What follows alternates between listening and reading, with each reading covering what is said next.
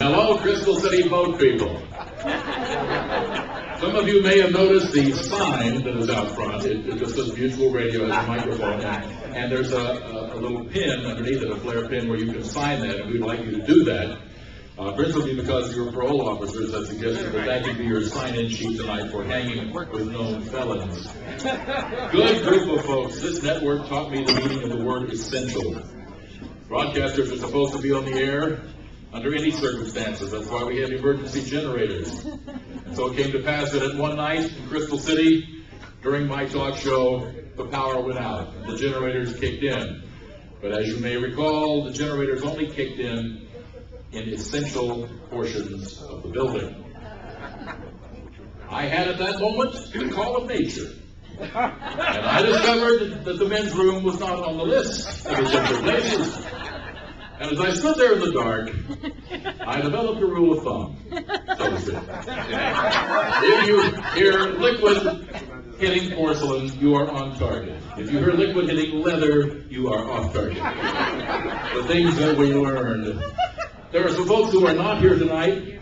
I would note uh, that uh, Ed Little is not here. I have uh, been getting some communications from Bob Moore, who said that uh, Ed owns a hot Jaguar. Someone sold him in Latin America that he's trying to get shipped back to the U.S., but he does not have title to the vehicle.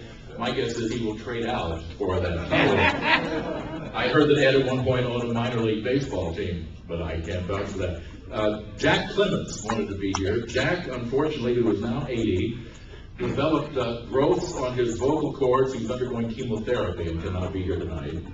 But uh, he sounds optimistic in his emails. Dan Ronan is now spokesman for the AAA in Texas and New Mexico, and Ike has him preoccupied this evening. Uh, also, You'll notice the memorabilia back here, some wonderful things. Please do look and enjoy. Uh, please leave where you found it because I think most of these folks would like it back. Uh, there's some great things back here. And uh, at this point, I'd like to introduce some of the other folks who are going to be talking to you tonight. The senior person at Mutual Radio Westwood One was and always will be Dick Rosse. Some of you. One